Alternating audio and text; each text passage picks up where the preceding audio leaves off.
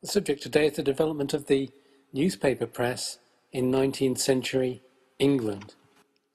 There'd been things sort of like newspapers throughout history, and certainly through the 17th and 18th century, these had begun to appear in Britain and other countries more frequently and something like the shape of modern newspapers. But it's really during the first half of the 19th century in England that the newspaper takes the, the shape we would recognize today. So, this is the origins of the news business. At this time, the newspaper industry was made up of lots and lots of small independent companies which had become profitable for three main interlocking reasons. First of these was demographics, that England had a population of sufficient size and of sufficient wealth and of sufficient homogeneity, uh, everyone speaking the same language and being interested roughly in the same uh, political, social issues, consuming the same sort of product so that there could be a uh, market for advertising. So the first factor that made all these little businesses viable was the demographics of the country. I'm going to explore that a little more uh, in this talk. Secondly, the legal regime which allowed, first of all, independent companies to be formed to own newspapers, but also, of course, the law relating to freedom of expression, uh, freedom of the press. Also, affecting the way the press developed was the taxation regime of, uh, of the government. Uh, we'll explore that a little more as well. Uh, freedom of expression was allowed, but it was in fact limited to a large extent by the levying of very, very high taxes so that the press could only be afforded in the first part of the 19th century anyway uh, by relatively wealthy people. And thirdly, the third factor that comes together is technology. And especially important here is the advent of steam power. And in two ways. First of all, you had the steam driven rotary press, uh, which allowed you to print uh, hundreds of thousands and even millions of copies of newspapers uh, in a few days. The steam driven rotary press replaced the flatbed printing press um, of the uh, 17th, 18th, 17th, and 18th century, um, which could only print um, a few hundred copies a day. So this new technology made printing you know, massively cheaper um, and thus made uh, newspapers more economically viable.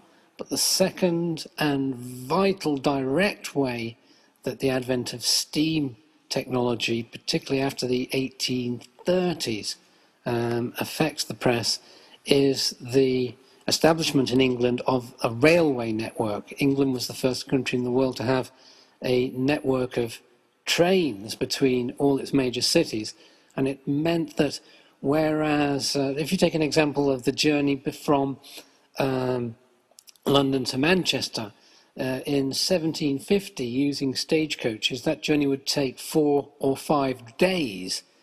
Um, but by 1850, the same journey would uh, only take four or five hours, not much uh, longer than these days, in, fact, on, on the express steam train. So th- that made a national press viable, the fact that you could print newspapers in London with the, with the London news, and then you could rush them all around the country. Uh, national newspapers retained, uh, that were based in London, retained uh, offices and printing presses in Manchester well into the latter part of the 20th century, in fact.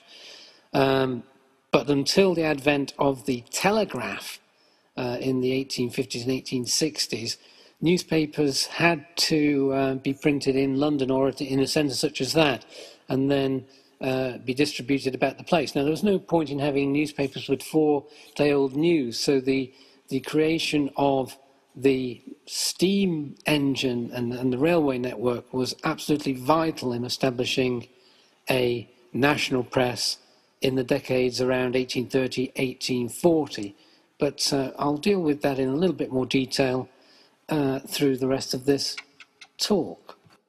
Now, in the 18th century, that's the 1700s, there really had been no national newspapers as such.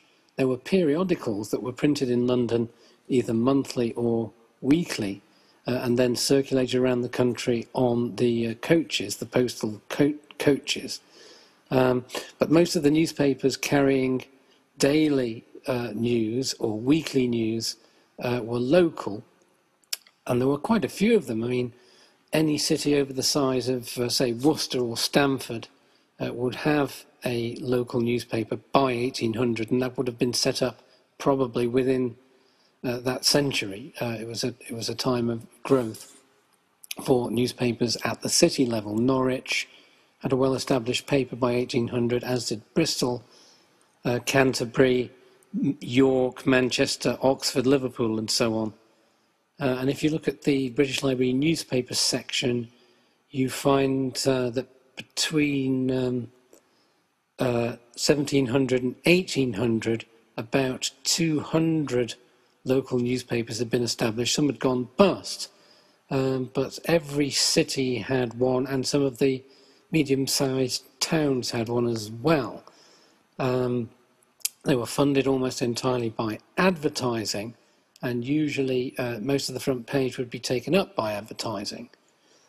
Um, the, they, they were extremely parochial, dealing with sort of parish pump local news.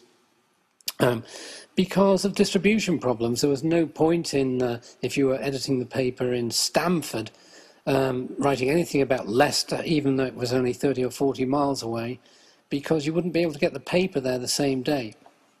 So the, the, um, the lack of a distribution network actually gave a potential monopoly to uh, local companies, usually craftsmen printers, who uh, went on to establish newspapers for, in order to have something to do, uh, something um, to make money out of on the printing presses that they might have established for some uh, other reasons. So you had this really quite vibrant local but highly parochial press um, during the years of the 1700s, that's the 18th century. Now then, in comparison with that, between 1850 so I'm sorry, between 1800 and 1850, according to the British Library, almost 700 new local papers were established. So that's three times as many in half a century, so six times as many. Now, that is partly because of the growth, growth of the population. Growth of the population of the UK, of England, started to grow dramatically after uh, 1800, and I'll come back to that when we're looking at the, the demographics of population. Um, in the period of 1800 and 1850 also saw the launch of the daily national newspaper press, some of which eventually reached a, a mass circulation.